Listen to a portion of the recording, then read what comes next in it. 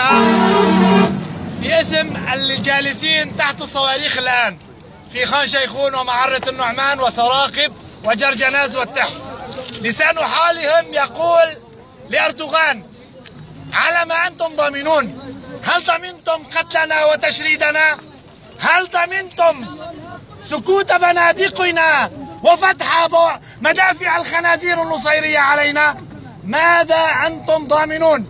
أردوغان هاي رسالتنا لك. نقاطك التركي ماذا تفعل عندنا؟ صواريخك صواريخ النصيرية تنزل بجانب النقاط التركي فماذا أنتم فاعلون يا ضامنون؟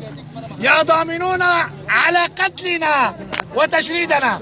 أتينا إلى هنا من جبل الزاوي ومن معرة النعمان ومن خان شيخون الجريحة.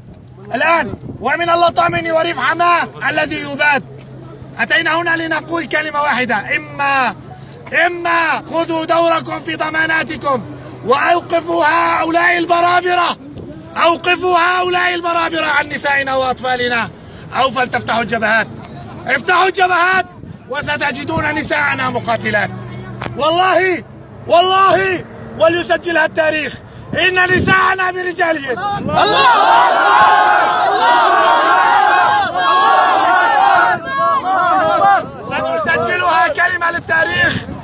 الشعب السوري الذي صمد على مدار ثمان سنوات. ثمان سنوات ولا نصير له إلا الله. إلا الله.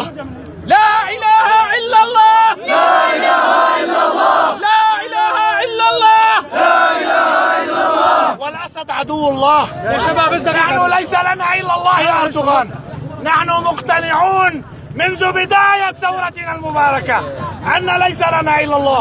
وكل من على الأرض عدو لنا.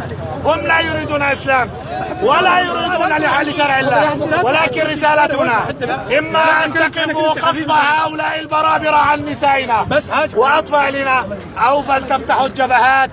ومحمد رسول الله.